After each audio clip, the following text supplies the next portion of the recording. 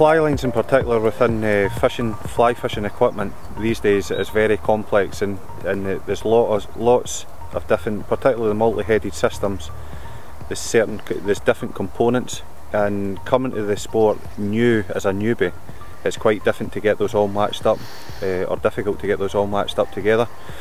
Uh, what, what multi-tips offer you, and that's a good value for money option, is it allow, allow you to buy one product or one line system that you know is all balanced together and straight out the box you match the appropriate uh, line to the rod that you've got you can take it out load onto your reel and you know that you can cover most water depths from top of the water to, to sort of subsurface to medium water levels you'll be covered in, in most multi-tip fly lines. Yeah.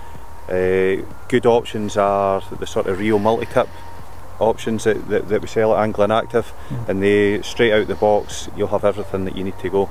If you want something more bespoke, if, you, if you're looking for uh, a specific Skagit uh, multi-tip system then come into the shop and we can set you up with that but certainly the multi-tips uh, straight out the box will give you everything that you need.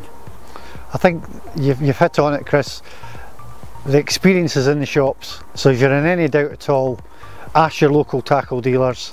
These guys work in it, play in it and they know the answers. Yeah, I think one of the things about selecting tackle for fishing for some anglers it's as much of the sport as actual fishing.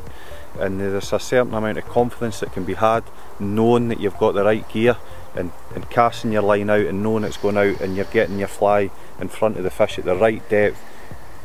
And you know you've not got any excuse other than yeah. putting the effort in.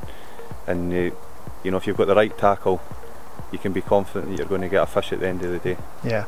It's not like it's not like the trout fishing guys who carry 15 different lines etc etc salmon fishing one line with the correct set setup of tips.